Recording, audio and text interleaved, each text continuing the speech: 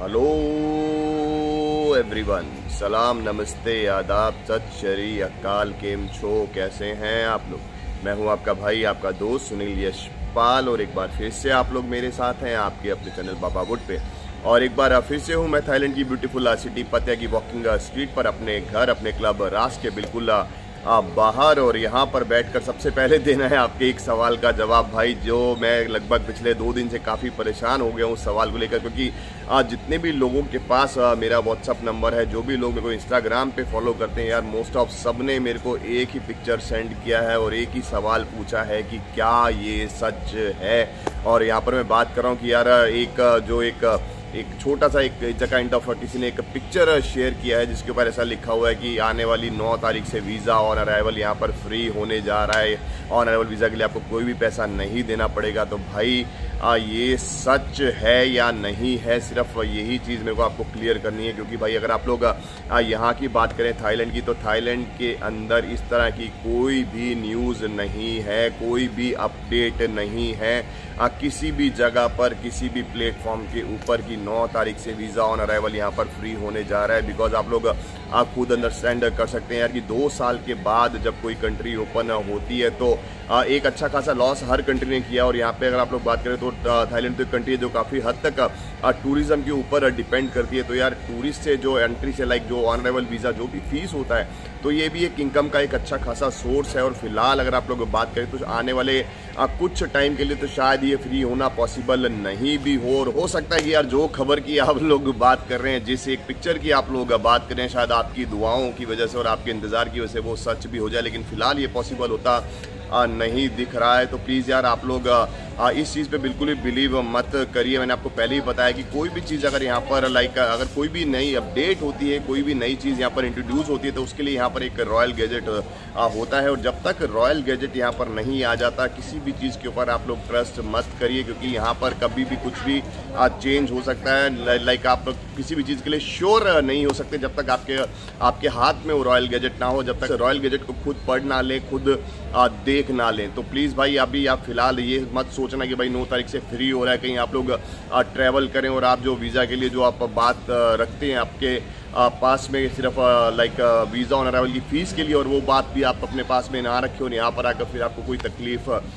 हो या आप किसी से ऐसी बहस करें कि नहीं, हमने तो न्यूज़ देखी थी कि भाई नौ तारीख से फ्री हो रहा है तो हम तो पैसे नहीं देंगे तो प्लीज़ ऐसी गलती मत कीजिएगा। और इसके साथ साथ एक सवाल और है जो काफ़ी लंबे अरसे से, काफ़ी लंबे टाइम से चला आ रहा है, जब से यहाँ पर थाईलैंड के अंदर लोगों ने आना स्टार्ट किया, जब से ट्रैवल लोगों ने करना स्टार्ट किया, जब से टूरिज़्म यहाँ पर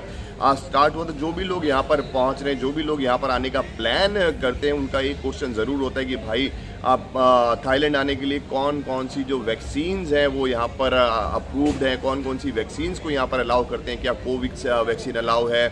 कोविशील्ड अलाउ है? लाइक यहाँ पर जितनी भी अलग अलग कंट्रीज़ की वैक्सीन है, उसमें कौन कौन सी वैक्सीन है जो यहाँ पर अलाउ है? तो यार यहाँ पर इसी चीज़ को लेकर भी एक नया यहाँ पर एक अपडेट आया है COVID nineteen vaccine guideline for travellers to Thailand तो इसके अंदर यार एक पूरी की पूरी लिस्ट दी हुई है कि कौन कौन सी वैक्सीन हैं जो यहाँ पर अप्रूव्ड की गई हैं ट्रैवल करने के लिए। तो लेकिन मैं आपको सिर्फ़ इसमें जो मेन है, मैं आपको बता देता हूँ, क्योंकि यार अपने जो, अपने अगर लोग इंडिया की बात करते हो तो इंडिया के अंदर सबसे ज़्यादा जो लोगों ने वैक्सीन लिया हुआ है, वो लिया हुआ है यहाँ पर कोवैक्सीन लिया है, और उसके अलावा जो लिया है, वो है कोविशील्ड तो भाई कोवैक्सीन और कोविशील्ड जो आपकी वैक्सीन है, वो सारी की सारी जो वैक्सीन है, वो इस लिस्ट के अंदर शामिल हैं। तो कोई टेंशन वाली बात नहीं है भाई, आप आराम से ट्रैवल कर सकते हैं। इसके अलावा अगर आप लोग बात करें तो यार जो एस्ट्राजेनेका है फाइज़र है इसके अंदर राइट और इसके बाद में जॉनसन का है मोडर्ना है। लाइक मोस्ट ऑफ़ जितनी भी स्पुतनिक है जितनी भी वैक्सीन है वो सारी की सारी जो वैक्सीन हैं इस लिस्ट के अंदर शामिल की गई हैं। तो आप उसकी टेंशन बिल्कुल भी आ, मत लीजिए कि यार हमारी वैक्सीन वहाँ पे अलाउ होगी कि नहीं होगी। उसके साथ साथ एक चीज़ और यहाँ पर लिखी गई है कि फुली वैक्सीनेटेड का मतलब क्या होता है? क्योंकि काफ़ी लोग ये भी पूछ रहे हैं कि फुली वैक्सीनेटेड मतलब ऐसा तो नहीं है कि हमको बूस्टर भी लेना पड़ेगा उसके बाद ही हम लोग फुली वैक्सीनेट लाइक हमको फुली वैक्सीनेट बोला जाएगा, ऐसा नहीं है भाई। आप फुली वैक्सीनेशन का जो मतलब है, उसका मतलब यहाँ पर लिखा हुआ है कि आपका जो सेकेंड डोज है, जो वैक्सीन का आपको दूसरा डोज लगता है, उस डोज को लगे हुए एटलीस्ट आपको चौदह दिन हो जाने चाहिए एटलीस्ट दो हफ़्ते निकल गए हों, उसके बाद ही आपको फुली वैक्सीनेट बोलते हैं, ऐसा नहीं है कि आपने दूसरा डोज लिया और दूसरा डोज लेते ही आप ट्रैवल कर लेंगे, क्योंकि अगर आप लोग दूसरा डोज लेते ही ट्रैवल करते हैं, चौदह दिन का जो गैप है वो आप लोग नहीं रखते हैं तो इसका मतलब आप पूरी तरह वैक्सीनेट नहीं है, क्योंकि वैक्सीन का असर जो है वो देखने में लगभग चौदह दिन निकलते ही हैं। यहाँ पे तो यार आप लोग सिर्फ़ इस बात को दिमाग में लेके चलिए कि फुली वैक्सीनेट का मतलब ये है कि सेकेंड डोज के बाद, चौदह दिन के गैप रखने के बाद आप लोग ट्रैवल कर सकते हैं। इसका मतलब ये नहीं है कि आपको बूस्टर ही लेना पड़ेगा। उसके बाद ही आप लोग फुली वैक्सीनेटेड होंगे। तो भाई यही कुछ छोटे छोटे सवाल थे। सोचा कि चलिए इसका जो आंसर अपने भाइयों के साथ आज शेयर कर लिया जाए अपने भाई को इन सवालों का जवाब भी दे दिया जाए, क्योंकि मेरे बहुत सारे भाई कंफ्यूज हो रहे थे और मैं नहीं चाहता कि मेरे कोई भी भाई जो भी यहाँ पर ट्रैवल करे, जो भी फैमिली यहाँ पर ट्रैवल करें, उनको किसी भी तरह का कोई भी कन्फ्यूज़न रहना चाहिए। तो आई होप ये जानकारी कहीं ना कहीं आपके काम ज़रूर आएगी। तो इसी उम्मीद के साथ मिलते हैं फिर नेक्स्ट ब्लॉग में। तब तक अपना ख्याल रखिए, अपनी फैमिली का ख्याल रखिए आस पड़ोस का ख्याल रखिए, हँसते रहिए, मुस्कुराते रहिए और